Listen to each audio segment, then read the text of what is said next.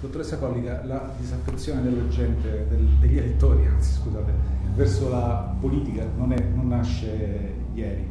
Qual è il suo punto di vista della, sulla questione e come fare per risolvere, come riportare la maggior parte degli elettori alle urne, specie in una eh, consultazione eh, di carattere comunale. Nasce ieri e queste le stesse difficoltà che ha rappresentato qui poco fa il candidato Sottile le ho vissute io in prima persona anche nel due anni e mezzo fa. Uh, questo non ci ha fermato, ci ha uh, portato anzi ad essere ancora più presenti uh, e a convincere le persone che il momento decisivo è invece proprio quello del voto e per quello però bisogna essere anche sinceri. Io sono tornata come no, ehm, è stato detto, non sono tornata in posti dove non ero mai stata in questi due anni e mezzo, perché se c'è una, una cosa che ci ha caratterizzato come amministrazione è stata quella, anzi, di, di fare più incontri periodici eh, in tutti i quartieri. Certamente quello che è accaduto negli ultimi periodi invece eh, erano stati un po' più rallentati perché ci si era impegnati tanto per poter portare più risultati e ritornare in ognuno di questi luoghi con le cose fatte.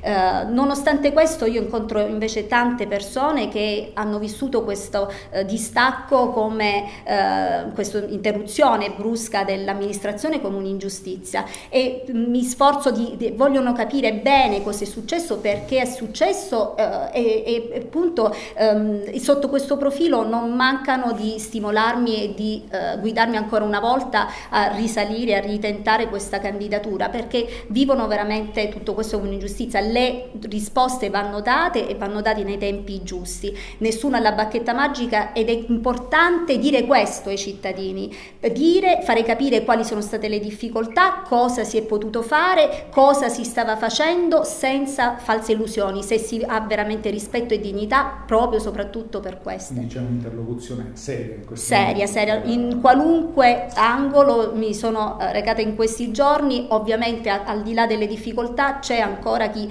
continua a darci profondamente fiducia.